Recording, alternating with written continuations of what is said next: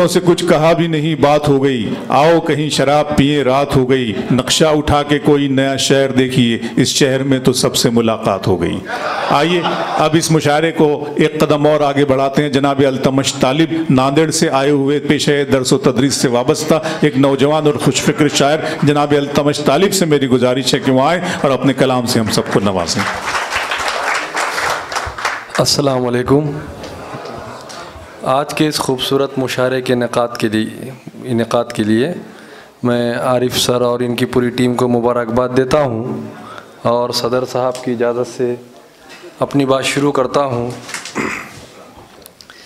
ये फूट डालने दुश्मन में काम आएँगे। वाह। ये फूट डालने दुश्मन में काम आएँगे। हमारे मशवरे उलझन में काम आएँगे। बहुत अच्छा है वाह वाह ये फूट डालने दुश्मन में काम आएँगे। हमारे मशवरे उलझन में काम आएँगे। बना के रखो ताल्लुक शहर के झूठों से ये सारे लोग इलेक्शन में काम आएँगे जी जी जी तो सबसे सारे ज़्यादा लोग इदार इलेक्शन ज़्यादा टिपिकल साहब दे रहे थे वो इसलिए कि लीडरों की बात हुई। तो समझ जाइए अब यहाँ की बात नहीं है। ये फूट डालने दुश्मन में काम आएँगे। वाह। हमारे मशवरे उलझन में काम आएँगे। बना के रखो ताल्लुक शहर के झूठों से। ये सारे लोग इलेक्शन में काम आएँगे। ये सारे लोग इलेक्शन में काम आएँगे। और चार मिसरे देखिए कि दिया बुझा के। अंधेरों में बैठ जाते हैं। दिया बुझा के अंधेरों दिया में बैठ बुझा जाते के हैं। अंधेरों में बैठ जाते हैं। वाह। जमीर बेच के गैरों में बैठ जाते हैं। वाह वाह वाह वाह। जी जी शुक्रिया मोहब्बतें कि दिया बुझा के अंधेरों में बैठ जाते हैं। जमीर बेच के गैरों में बैठ जाते हैं। जिन्हें बनाते हैं हम लोग रहनुमा अपना वो हुक्मरानों के पैरों में बैठ जाते हैं। जी भाई जी जी शुक्रिया भाई शुक्रिया फिर पढ़े भाई बहुत तालियाँ बजा दीजिए दोस्तों बहुत आपके लहजे की शायरी हो रही है। बस यहीं से मुशायरे को मुशायरा बना दीजिए बहुत खूबसूरत मुशायरा।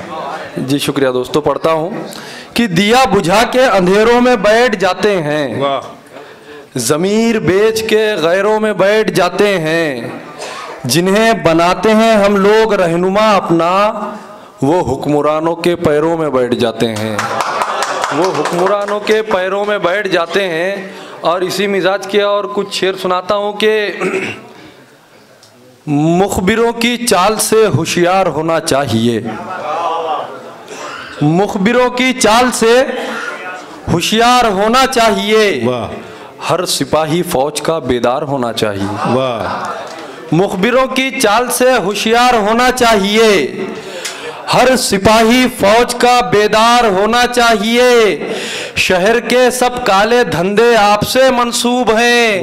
आप ही को कौम का सरदार होना चाहिए।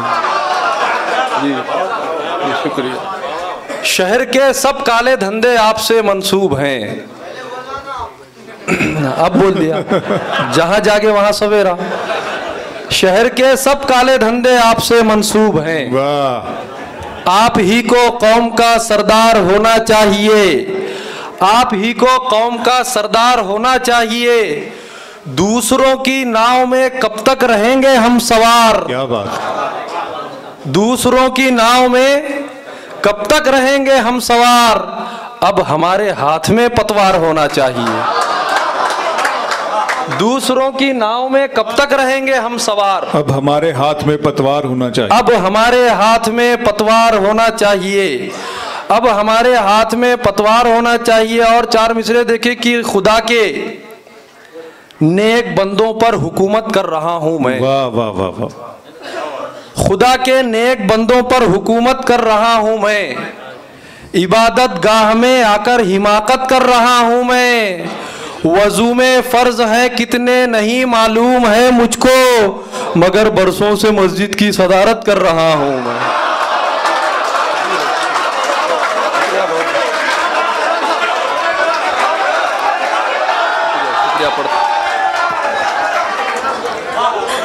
पढ़ता हूँ जी। खुदा के नेक बंदों पर हुकूमत कर रहा हूँ मैं। इबादत गाह में आकर हिमाकत कर रहा हूँ मैं। वज़ू में फ़र्ज़ है कितने नहीं मालूम है मुझको मगर बरसों से मस्जिद की सदारत कर रहा हूँ मैं। मगर बरसों से मस्जिद की सदारत कर रहा हूँ मैं और चार मिसरे देखे कि फिर नसीहत भी। देखिए सर। सुनिएगा दोस्तों सुनिएगा। फिर नसीहत भी। बाअसर होगी। फिर नसीहत भी बाअसर होगी। फिर नसीहत भी बाअसर होगी। कुछ अमल से सबक तो दो पहले। फिर नसीहत भी बाअसर होगी। कुछ अमल से सबक तो दो पहले। हज व उमरा को बाद में जाना रिश्तेदारों का हक तो दो पहले।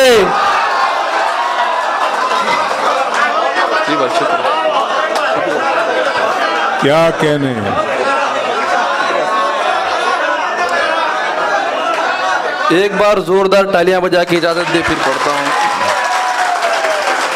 बहुत अच्छे अल्तमज भाई। जी जी, शुक्रिया जी, शुक्रिया फिर नसीहत भी बाअसर होगी। फिर नसीहत भी बाअसर होगी। कुछ अमल से सबक तो दो पहले। हज व उम्रा को बाद में जाना। रिश्तेदारों का हक तो दो पहले।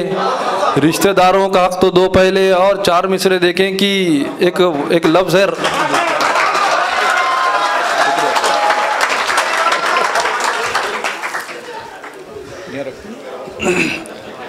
एक लफ्ज़ है महाराष्ट्र में, राजकारण बोलते हैं, राजकारण, सियासत, पॉलिटिक्स।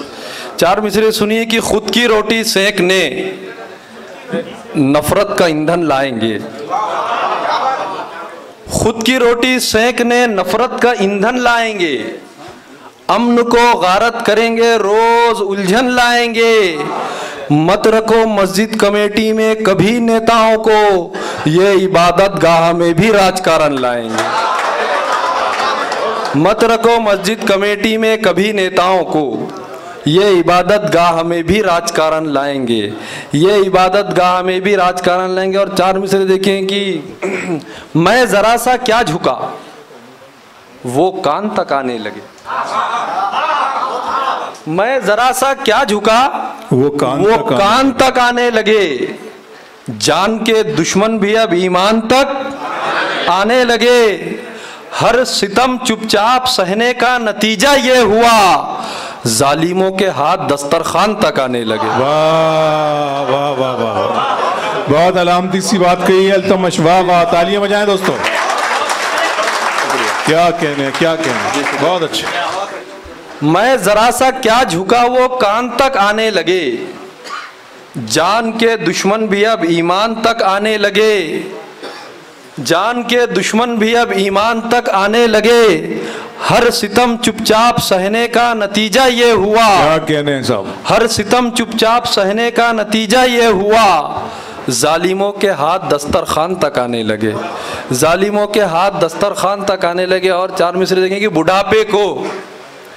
कभी तुम नौजवानी कर नहीं सकते। वाह। बुढ़ापे को कभी तुम नौजवानी कर नहीं सकते। मोहब्बत की कहानी जाफरानी कर नहीं सकते। हज़ारों साल तक दिल्ली के मसनत पर जो तुम बैठे हमारे जैसी फिर भी हुक्मरानी कर नहीं सकते बहुत अच्छी जनाब अल्तमश आ रहे हैं आ रहे आ रहे जनाब अल्तमश साहब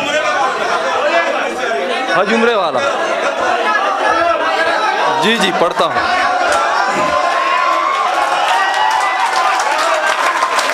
जी, शुक्रिया दोस्तों, मोहब्बत है आपकी। वो भाई की फरमाइश है, वो हज फिर नसीहत भी बाअसर होगी। फिर नसीहत भी बाअसर होगी। कुछ अमल से सबक तो दो पहले। हज व उम्रा को बाद में जाना। रिश्तेदारों का हक तो दो पहले। हज व उम्रा को बाद में जाना। क्या कहने हैं? रिश्तेदारों का हक तो दो पहले।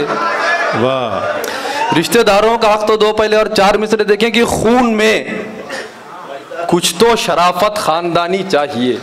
वाह। खून में कुछ तो शराफत खानदानी खानदानी चाहिए।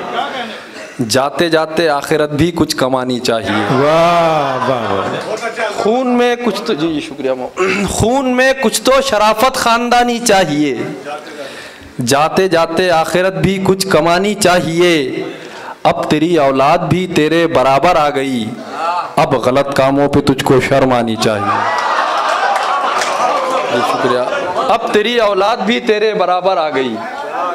शुक्रिया। अब तेरी औलाद भी तेरे बराबर आ गई। बहुत अच्छे वाह वाह वाह। अब गलत कामों पे तुझको शर्म आनी चाहिए।